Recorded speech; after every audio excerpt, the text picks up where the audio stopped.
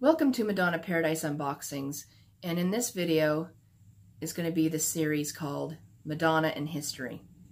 Today marks the 24th anniversary of the release of the album Bedtime Stories, October the 25th of 1994.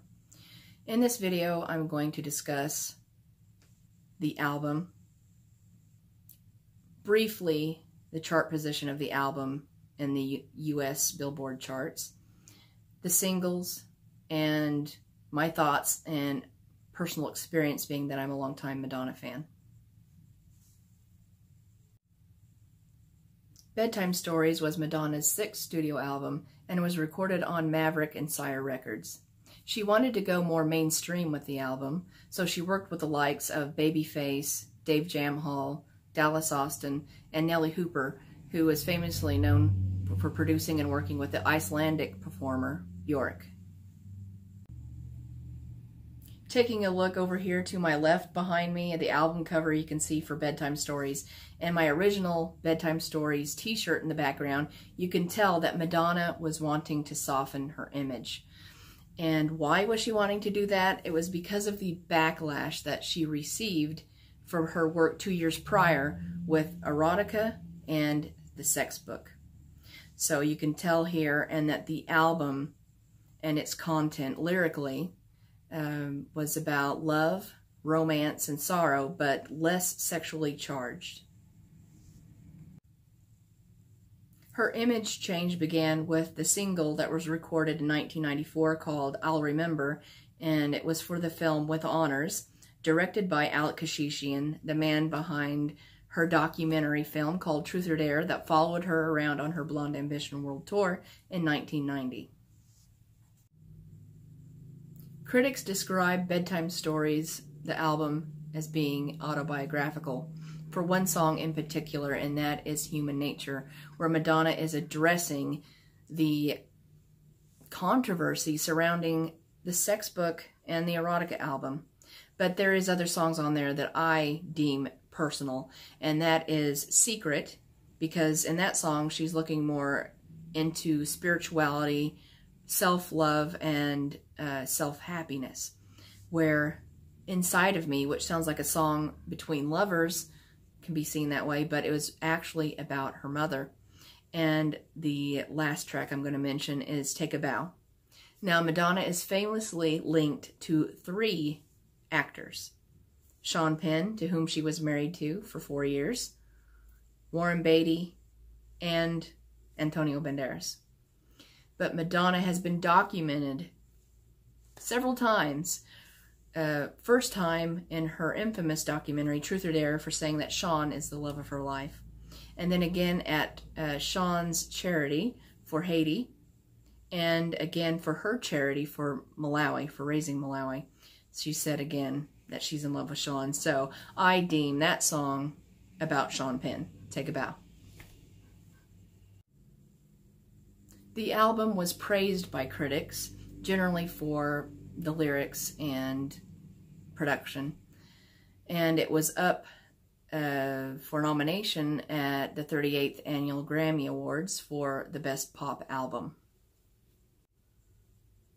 Commercially, Bedtime Stories did better than Erotica, debuting at number three on the Billboard 200s. And it was certified triple platinum by the Recording Industry Association of America. Take a Bow spent seven weeks at number one on the U.S. Billboard Hot 100, but her other singles, Bedtime Story and Human Nature, did not fare as well on the charts. However, Madonna did promote this album fairly well. She had two specials on MTV that I seen here in the United States. I'm sure it was seen across the world. The first one that I seen was No Bull, The Making of Take a Bow. And then later on, for the release of Bedtime Story, the single and video, uh, Madonna had a party, which was uh, Madonna Pajama Party. And also, she went on the 35th Annual American Music Awards and performed Take a Bow with Babyface in 1995, as well as performing at the San Remo Festival and Wetten Dass, and also the 1995 Brit Awards performing Bedtime Story.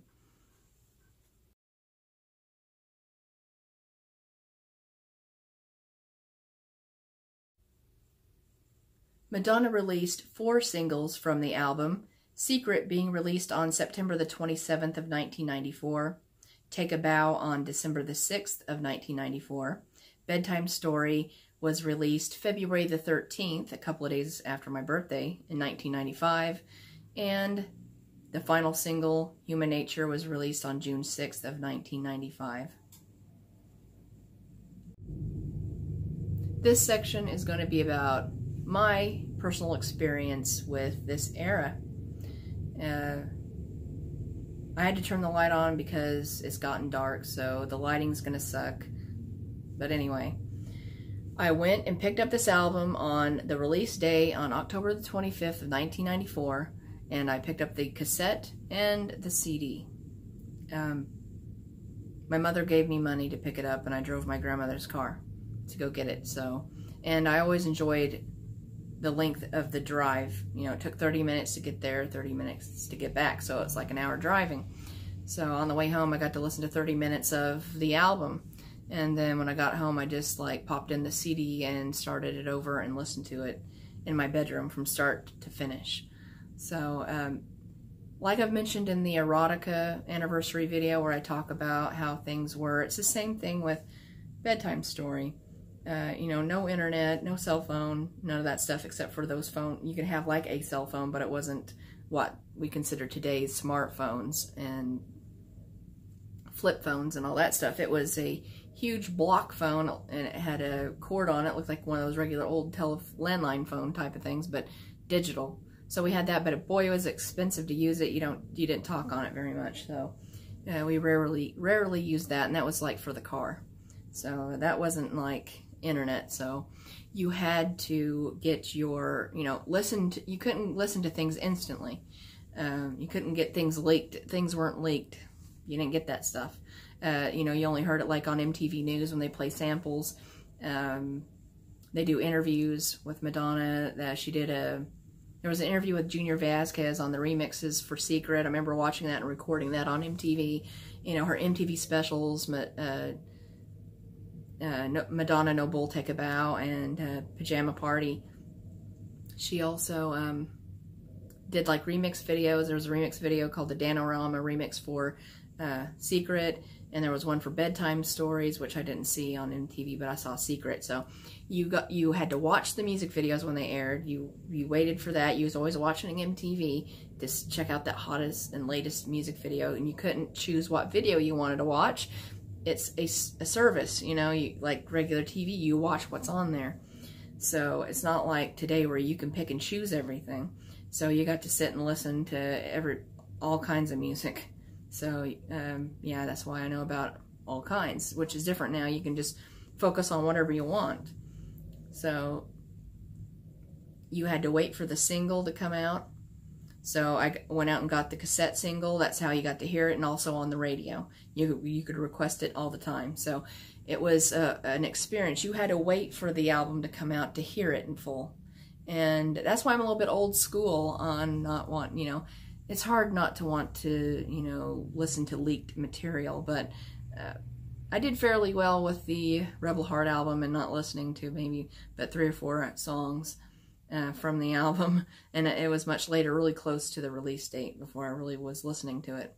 So um, before then, you know, you just got to have that full experience of putting the record on, uh, which not wasn't a vinyl, a CD on, and listening to it in full and just taking it in. Uh, that was a real true excitement. Nowadays, you hear everything before you go get the physical product, and to me, that kind of ruins that experience. So I like to do it the old vanilla way, you want to call it, old school way, you know. But, uh, you know, I, I upload my music to my, my smartphones and all that stuff now, but it was quite a exhilarating and, and intoxicating experience. Uh, I loved those Madonna specials on MTV and VH1 would also do things with her from time to time. Then she'd also come on other TV shows for interviews and whatnot. Um, I really miss those days, you know. Um, you know, she could probably do that stuff even now, but she'd just have to produce it herself and put it out, like her own exclusive interviews. You know, she don't have MTV to do it. there MTV does not exist the way it did in, in the 80s and 90s. And, you know, in the early 2000s, it started heading towards what it is. It's nothing today. But it would be cool if MTV came back, but I guess they don't serve a purpose. We have YouTube. So, I loved this album when it came out. I loved the single, the first one, Secret. Love Take a Bow, Bedtime Story, and uh, songs like um, Forbidden Love, Love Tried to Welcome Me, Don't Stop, um, Sanctuary. I really love Sanctuary. Beautiful. I like that that Euro dance uh, dub, whatever it was, music. I'm not sure what it was called. I forget, but you know, it's like Bjork's music. So she got to work with, uh, well, not exactly she didn't get to work with Bjork because on um, VH1's Behind the Music, there's a clip of Bjork talking, and she said, I wrote the song as a favor to my friend Nellee Hooper. No offense to Madonna, but I was really doing it for him. So she probably had already had the track recorded. Madonna listened to it and made her changes lyrically. Uh, or maybe she didn't touch the lyrics. Maybe she just, you know, put her own spin musically uh, and vocally the way Madonna does. So I really loved the video and the song for Bedtime Story and Sanctuary. Um, it's actually, you know, a very mellow um, R&B pop album. It was the mainstream sound at the time. You know, she was going for that.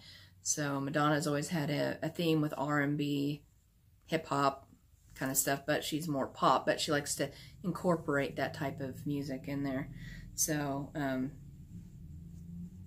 the, the songs that I listed are, are my favorites, you know, some of my favorites. I don't know if I, um, Can't read this because it's so dark, uh, the track listing. But Human Nature is very, you know, R&B.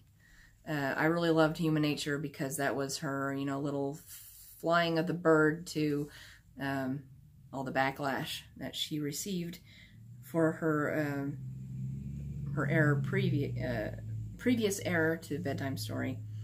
Um, Survival's another, um, you know, it's a good track, but you know, Secret, Don't Stop, Love Tried to Welcome Me, um, Forbidden Love, Take a Bow, and uh, don't know if there's another. Those, those are like my favorite tracks off the album. There may may be some others give and take, but I, I you know, it's not. It's like naming the whole album. But it was a great time to be Madonna fan. You know, watching all those videos as they came out, uh, being a, a, subscriber to the Icon fanzine in the Madonna fan club. Uh, I didn't pull those out, but I've pulled them out before and shared them with you. I got all the issues from the uh, bedtime stories era. That's another way I got my info too. Inside scoop from Madonna herself, who participated in the club as I've mentioned in all of my videos. And I read all those and got all my info about what was coming up, what was going on, chart stuff, different stuff going on in different parts of the world, you know, how things were charting, what was going on, what she was doing. So yeah, I, I enjoyed watching her videos, seeing her live performances that were filmed from other um, countries, like from Germany at Wetten and the uh, Italian uh, San Remo Festival, I think. That, and then her, uh, her, performing at the 1995 Brit Awards with Bedtime Story. That was such a cool performance. And then also uh, the performance with Babyface at the American Music Awards. So it was really great. She had like a geisha look going on in uh, with her costuming and, and her hairstyle for that performance. Uh, she looked really nervous too when she was performing it, but uh, it was all around great era. I really enjoyed it. Um, looking back on it, you know, I have nostalgic feelings for it. Uh, it's it means each album means something to me, as I've always said, you know, because these are signposts in my life growing up um, I was 17 when this album came out, and I was also interviewed for the Joplin Globe newspaper when this album came out. So I listed Secret as my favorite single and Bedtime Stories as my favorite album because I always throughout my entire life, I've always stayed current and loved each album that Madonna's released, and I haven't stopped today. It's the same today. Uh, you know, I love whatever she releases each time. You know, if I didn't love what she released, I wouldn't be a fan. I wouldn't be making these videos. You know, I can't, uh, I'm not a fan that loves the past Madonna only and despises her now. I just can't be that kind of fan. I'm not that way. That's not who I am. Um, the only way that I can be a fan of somebody is if I currently love what they're doing, even now. I mean, yes, of course, I've listened to uh, the New Wave 80s, but I don't listen to half the people nowadays that put out stuff. It's just like their old stuff, but I rarely listen to it. To be hardcore, obsessive Madonna fan that I am, I love everything that it is that she's done up to today. So that's my explanation of that. I've I've done this so many times talking about it, but you know, I just have to mention it because, you know, I'm getting all nostalgic over here about bedtime stories, the album. So I hope you enjoyed the video. Um, give it a like. Um, click my bell for notifications on the icon bell thing so you can know when I post a new video. And uh, don't forget to comment down below. So keep enjoying Madonna. Happy 24th bedtime stories.